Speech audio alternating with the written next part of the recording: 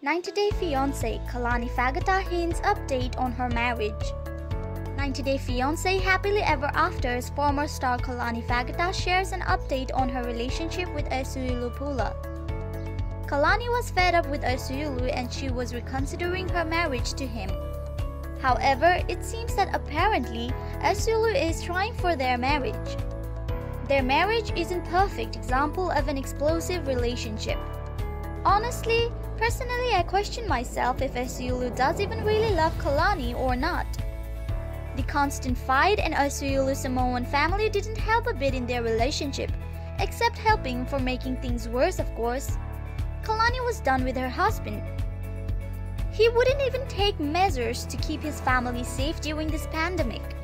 Kalani then said that she was done with their marriage.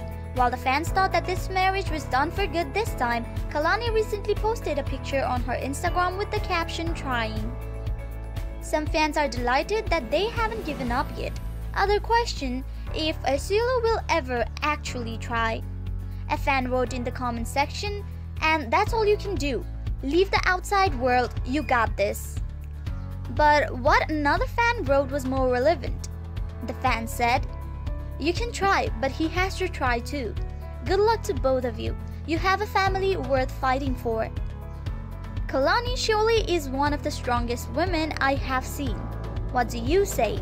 Let us know in the comment section down below. Subscribe for daily news and updates on your favorite soap. Thank you for joining us.